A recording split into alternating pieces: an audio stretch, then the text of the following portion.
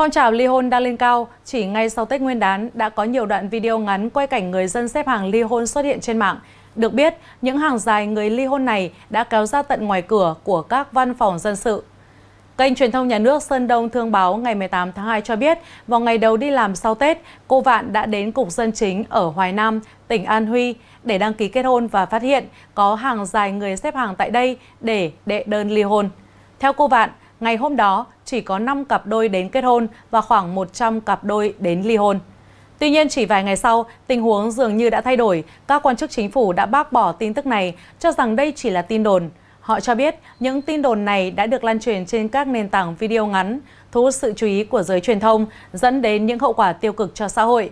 Sau khi điều tra, cơ quan công an đã bắt giữ hành chính những người tung tin đồn thất thiệt theo quy định của pháp luật. Bỏ qua việc đây có phải là tin đồn hay không, những người quen thuộc với tin tức ở Trung Quốc đều biết rằng những điều bị truyền thông chính phủ bác bỏ thường là sự thật. Không thể phủ nhận rằng tỷ lệ ly hôn ở Trung Quốc tiếp tục tăng cao trong những năm gần đây. Theo thống kê dân sự của Bộ Nội vụ Trung Quốc, vào quý 1 năm 2023, Trung Quốc có 2,147 triệu cặp đôi kết hôn và 641.000 cặp đôi ly hôn, tăng lần lượt 40.000 và 127.000 cặp đôi so với cùng kỳ năm ngoái. Nói cách khác, số vụ ly hôn đã tăng sấp xỉ 3 lần so với lượng kết hôn. Theo số liệu chính thức của chính phủ Trung Quốc, tỷ lệ ly hôn ở Trung Quốc vào năm 2022 là 43,53%, tương đương gần một nửa các cặp đôi lựa chọn ly hôn. Trong số đó, đứng đầu là thành phố Thiên Tân với tỷ lệ ly hôn cao gần 60%, tiếp theo là tỉnh Hắc Long Giang với tỷ lệ ly hôn cao tới 58% và Bắc Kinh có tỷ lệ ly hôn là 53%. Trong năm 2019, trung bình mỗi ngày ở Trung Quốc có hơn 20.000 cặp đôi ly hôn, tăng 17% so với năm 2018. Tỷ lệ này đã có xu hướng tăng trong 7 năm liên tiếp. Điều này dấy lên lo ngại Trung Quốc sẽ sớm trở thành quốc gia có tỷ lệ ly hôn cao nhất thế giới. Có một điều đáng suy ngẫm, trong những cặp đôi ly hôn ở Trung Quốc, những người sinh năm từ 1980 đến 1990 đã trở thành lực lượng ly hôn chính, chiếm tới 51%. Vậy tại sao tình yêu và hôn nhân ở Trung Quốc lại trở nên mong manh như vậy trong thời đại yêu đương tự do như hiện nay? Thế hệ người già Trung Quốc cho rằng hôn sự là chuyện cả đời. Dù trong hôn nhân có xuất hiện mâu thuẫn thì hai bên sẽ bao dung và nhường nhịn lẫn nhau. Tuy nhiên, đối với người Trung Quốc ngày nay, đặc biệt những người sinh vào thập niên 80, 90 và 2000, vốn hầu hết là con một nên từ nhỏ đã coi mình là trung tâm, ưu tiên vào cảm xúc và hạnh phúc cá nhân, khiến nhiều người có xu hướng tiến tới những cuộc hôn nhân bốc đồng và ly hôn nhanh chóng. Khi xảy ra mâu thuẫn, hai bên đều không nguyện ý bỏ ra thời gian và sức lực để hàn gắn mối quan hệ, vì vậy họ lựa chọn ly hôn. Ngoài ra, áp lực tài chính cũng là một trong những nguyên nhân chính dẫn đến tỷ lệ ly hôn cao ở Trung Quốc hiện nay, đặc biệt là sau đại dịch COVID-19.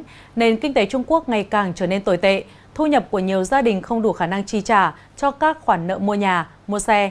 Thậm chí, vợ hoặc chồng hoặc cả hai người có thể bị thất nghiệp trong làn sóng sa thải trước dịp Tết Nguyên đán. Thêm vào đó là chi tiêu tăng mạnh trong dịp Tết, càng khiến áp lực tài chính trở nên gánh nặng. Ngoài ra, dù hữu ý hay vô ý, họ thường bị người thân và bạn bè đem ra so sánh, càng làm gia tăng mâu thuẫn giữa các cặp vợ chồng trong vấn đề tài chính. Người Trung Quốc có câu thơ, bần tiện phu thê bách sự ai. Vợ chồng nghèo nên trong chuyện buồn thương.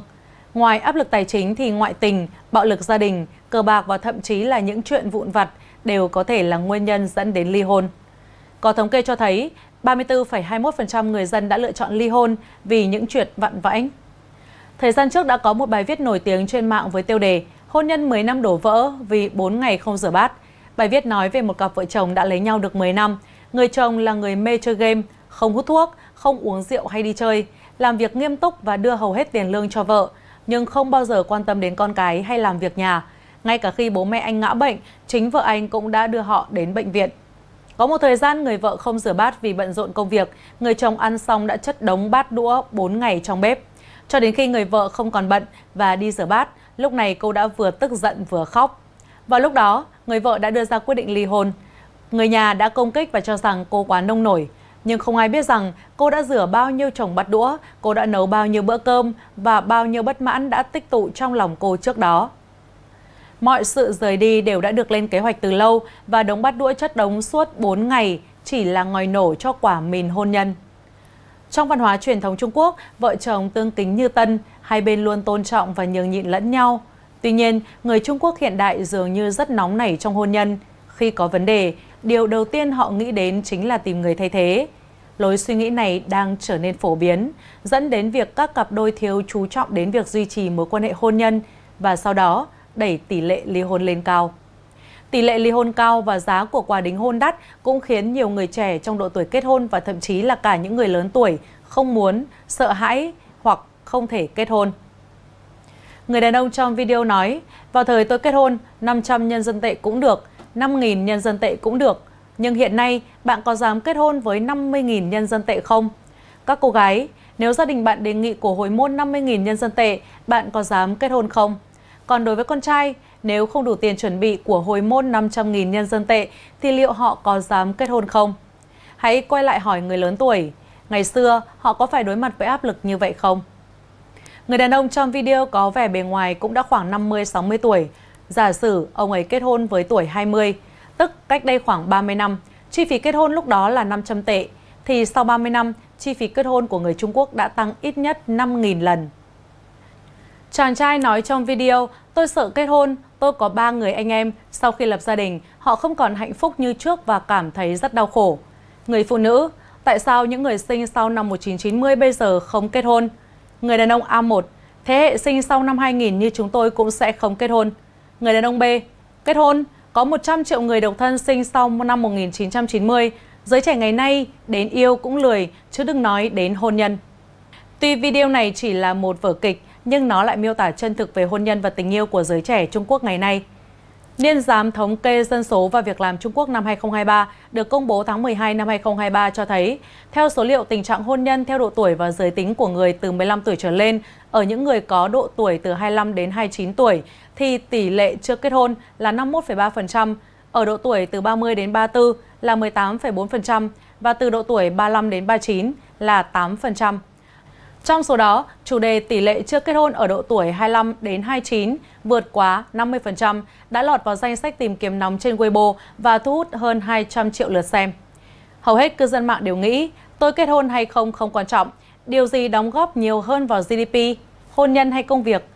Kết hôn sẽ chỉ khiến tôi nghèo hơn và mắc nợ, tại sao tôi lại phải kết hôn? Một nữ cư dân mạng bình luận, tôi là người làm nghề massage chân và từng nghe một chàng trai phàn nàn, anh ấy có thu nhập 8.000 nhân dân tệ, khoảng 27 triệu đồng mỗi tháng, có thể sống một mình thoải mái ở Bắc Kinh. Anh ấy có thể đến đây massage chân mỗi tuần một lần. Anh nói rằng khi mình có bạn gái, tiền lương đã bị tiêu hết sạch ngay trong tuần đầu nhận lương. Trước đó anh đã có tiền tiết kiệm trong năm, 6 năm, nhưng chỉ chưa đến nửa năm hẹn hò với bạn gái, anh ấy đã tiêu hết tiền. Cuối cùng người bạn gái đã bỏ anh vì nghĩ rằng anh nghèo. Nữ cư dân mạng bình luận thêm, Thật buồn, nếu bỏ nhiều tiền như thế để nuôi một con chó, anh ấy có thể được nhận lại điều tốt, nhưng tiêu số tiền ấy cho người bạn gái chỉ khiến anh thêm đau lòng. Ông Tô Kiếm, Giám đốc Trung tâm Nghiên cứu Kinh tế Quốc gia của Đại học Bắc Kinh, trong một cuộc phỏng vấn với phóng viên truyền thông cho biết, quan niệm xã hội thay đổi, cuộc sống ngày càng áp lực và chi phí chăm sóc con cái cao là những lý do chính khiến giới trẻ không muốn kết hôn. Người Trung Quốc xưa có câu, ba tội bất hiếu, không con nối dõi là lớn nhất – Đặc biệt, trước đây, nhiều gia đình muốn sinh con trai để nối dõi tông đường. Nhưng mọi thứ đã thay đổi, bây giờ người ta nghĩ kết hôn sớm có được gì không? Người thanh niên trẻ nói, mức sống hiện tại của tôi ở mức trung bình. Sau khi kết hôn, tôi phải gánh vác rất nhiều trách nhiệm, áp lực xã hội bây giờ cũng rất lớn. Không giống như thế hệ cha mẹ tôi, giờ tôi chỉ có thể nuôi sống bản thân. Nếu bây giờ có con, bạn phải cho chúng đi nhà trẻ, học các lớp năng khiếu. Sau khi chúng tốt nghiệp, bạn phải dùng mối quan hệ để tìm việc và mua nhà cho chúng. Tôi không dám nghĩ đến điều này. Với mức lương hiện tại, nếu không ăn không uống, thì tôi phải làm việc hai đời mới thực hiện được.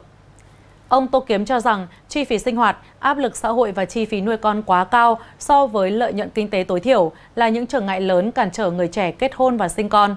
Ngoài ra, giá nhà đất, chi phí giáo dục và chi phí y tế liên tục tăng khiến mọi thứ trở nên tồi tệ. Theo số liệu hàng năm, năm 2013 là năm có nhiều cặp đôi kết hôn đầu tiên cao nhất ở Trung Quốc, với 13,46 triệu cặp đôi. Kể từ đó, theo thống kê của Bộ Nội vụ Trung Quốc, số lượng kết hôn ở Trung Quốc bắt đầu giảm dần qua từng năm. Đến năm 2022, đánh dấu mức thấp mới kể từ khi Bộ có hồ sơ liên quan vào năm 1986.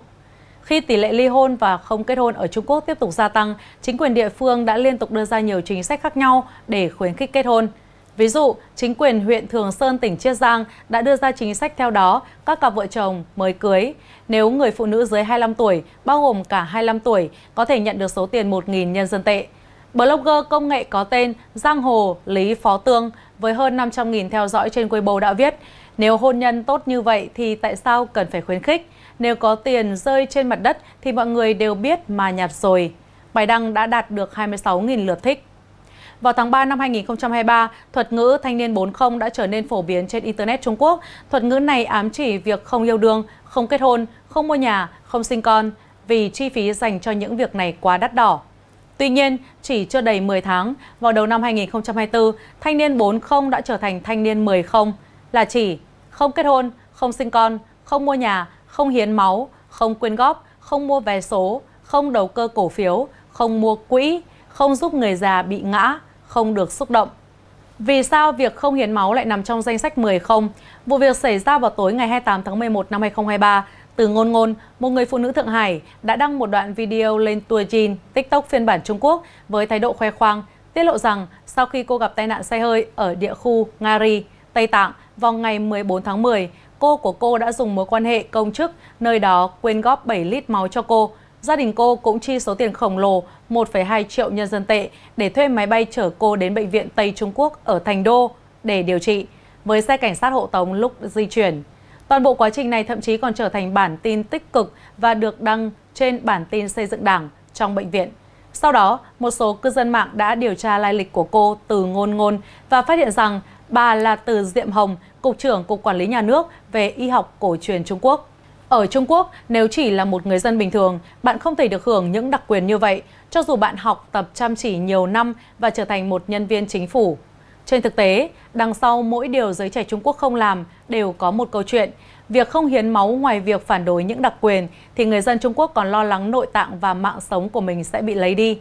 Cụm từ thanh niên 10 không đều được người dân Trung Quốc đúc kết sau khi trải qua vô số bài học đẫm máu về cách tránh những cạm bẫy khác nhau do Đảng Cộng sản Trung Quốc đặt ra. Cách đây 40-50 năm, chính quyền Trung Quốc đã thực hiện chính sách kế hoạch hóa gia đình, dù ở nông thôn hay thành thị, những khẩu hiệu lạc hậu có ở khắp mọi nơi, như nếu cần thắt ống dẫn tinh mà không làm thì nhà sẽ sập. Nếu cần phá thai mà không phá thì nhà sẽ bị phá và cây cối sẽ bị bật gốc. Hôm nay trốn tránh kế hóa gia đình, ngày mai về nhà trắng tay. Thà thêm 10 ngôi mộ còn hơn thêm một người. Sinh quá một người cả làng sẽ bị triệt sản. Nhưng vào khoảng năm 2010, chính phủ Trung Quốc đã phát hiện ra vấn đề về dân số nên đã thay đổi chính sách cho phép sinh con thứ hai hoặc thậm chí sinh con thứ ba. Các khẩu hiệu của chính sách kế hoạch hóa gia đình cũng đã thay đổi từ những khẩu hiệu đẫm máu trước đây thành một con là chưa đủ, hai con sẽ tốt hơn, lúc trẻ có niềm vui, về già có người dựa vào. Nếu có ba con thì không cần nhà nước hỗ trợ khi về già. Ngay lời đảng, sinh ba con, không tăng ca, nghỉ hai ngày cuối tuần, trợ cấp sữa bột cho ba con, có hai con rồi thì có thêm một con cũng không sao. Ngoài ra, về vấn đề hưu trí và chăm sóc người già, năm 2005, Đảng Cộng sản Trung Quốc tuyên truyền rằng việc chăm sóc hưu trí không thể hoàn toàn phụ thuộc vào chính phủ. Năm 2012, họ lại tuyên bố rằng hoãn việc nghỉ hưu chậm lại để tự lo cho bản thân. Đối mặt với sự lừa dối liên tục, người dân Trung Quốc bắt đầu thức tỉnh. Thực chất không phải là họ không muốn kết hôn, sinh con, mua nhà, mà là họ không đủ khả năng để kết hôn, sinh con và mua nhà. Bởi vậy, họ đã lựa chọn nằm im với thái độ thờ ơ, chuyển từ thanh niên 40 sang 10 không. Thậm chí với đà này, tương lai sẽ có thể xuất hiện thanh niên 20 không, 30 không. Với xu hướng ly hôn ngày càng tăng và số người chọn không kết hôn, không sinh con ngày càng tăng ở Trung Quốc, liệu thế hệ sinh sau năm 2000 hiện tại có trở thành thế hệ cuối cùng của Trung Quốc không?